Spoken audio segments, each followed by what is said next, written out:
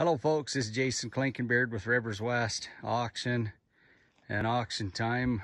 Uh, we're in uh, Alberton, Montana today, uh, just west of Missoula. Uh, the, everything we're listing today will get transported up to uh, just about 10 miles north of Missoula, that's where it'll load out from. Um, here we've got a little compact tractor, a BX 2350 Kubota with a LA 243 loader and a 60 inch mowing deck. Um, I'll kind of walk around this little four wheel drive tractor.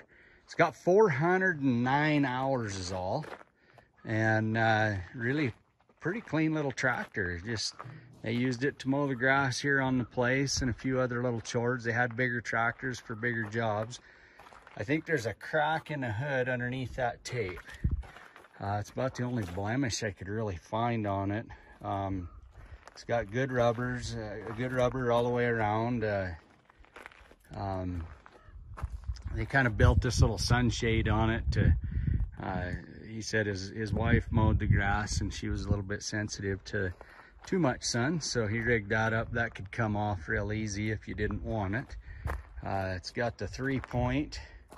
Um, hitch and uh, and uh, 540 PTO and just trying to see if there was a it doesn't look like there's a hydraulic remote on the back of this tractor. It's a little diesel engine, Kubota diesel, I presume 23 horsepower.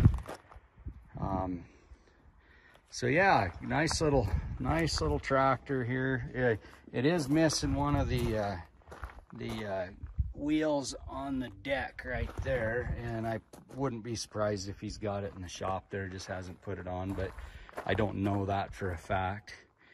Uh, seats in good shape so there you go. Uh, BX 2350 not sure what year it is it'll be in the listing though. Um, once we get that figured out 409 hours just north of Missoula Montana